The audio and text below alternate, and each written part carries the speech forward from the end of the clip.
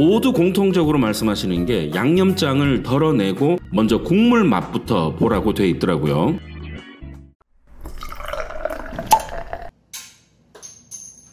안녕하세요. 여러분의 귀염둥이 쉰뽕입니다.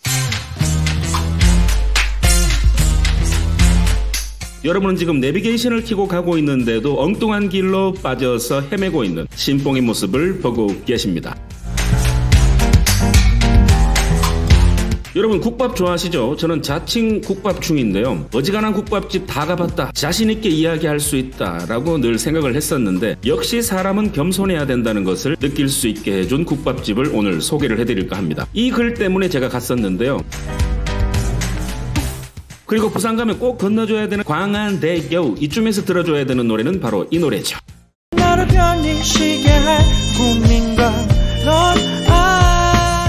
자, 그럼 오늘 소개드릴 곳으로 함께 가보시죠.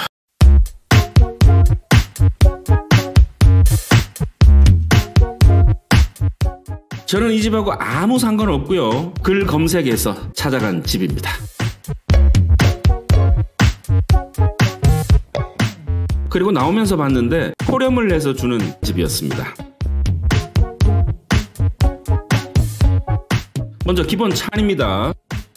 부추김치, 깍두기, 김치, 고추 무침 등등등 나옵니다.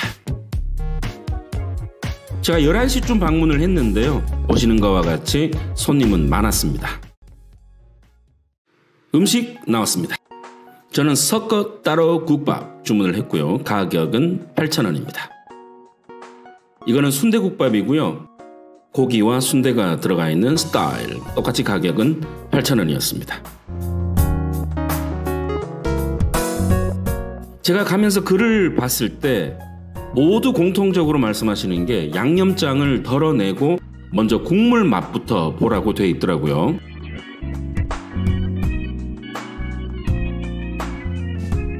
여러분 국물 한번 보세요. 정말 국물이 맑죠?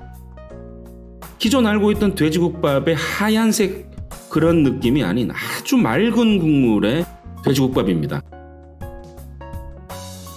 제가 조금 전에 양념장을 덜어냈는데요.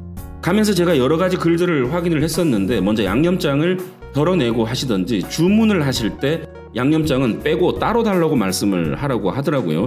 그 이유는 저 맑은 국물을 그냥 한번 쭉 들이켜 보시라는 뜻에서 그렇게 말씀해 주신 것 같더라고요. 역시나 국물이 아주 좋았습니다. 잡내라든지 그런 게 전혀 없었어요. 제가 장담하고 말씀드리는데 평소에 돼지국밥 이런 것들을 전혀 못 드시는 분들 그런 분들은 이 집 가서 드시면 부담 없이 편안하게 드실 수 있는 그런 돼지국밥입니다. 제가 예전에 서울 가서 먹어봤던 하동관이라고 굉장히 오래된 80년 이상 된 곰탕집이 있는데요. 마치 그 집 국물을 먹는 것 같은 그런 느낌이 들었습니다. 고기도 적지 않게 들어 있었고요. 내장들도 아주 실하고 쫄깃쫄깃하고 맛이 좋았습니다. 그리고 맨밥하고 먹는 부추김치와 먹는 맛. 하, 괜찮죠?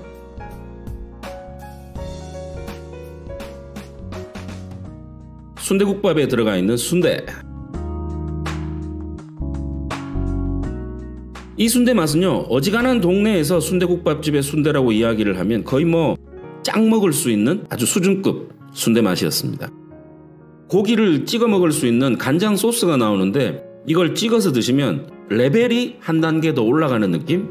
그냥 일반 새우젓에 먹는 거랑 또 다른 맛을 느낄 수 있는 아주 맛있는 간장 소스였습니다.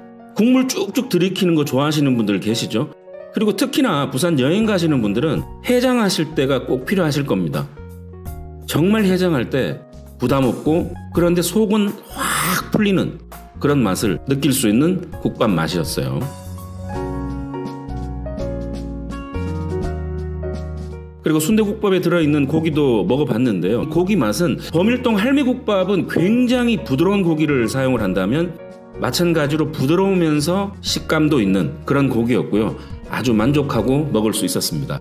반찬은 살짝 달짝한 느낌도 들었지만 식사하시기에는 큰 부담 없는 아 참 맛있다 라는 소리가 저절로 나오는 그런 국밥집이었습니다. 저는 부산을 또 가게 되면요 꼭 다시 재방문하고 싶네요. 여러분들이 부산 돼지국밥 하면 떠오르는 그 이미지 있으실 겁니다. 그것과는 완전히 차원이 다른 아주 맑은 느낌의 돼지국밥 드셔보시고 싶은 분들은 꼭 한번 가보시기 바랍니다. 저는 내일 맛있는 음식으로 다시 돌아오겠습니다. 고맙습니다.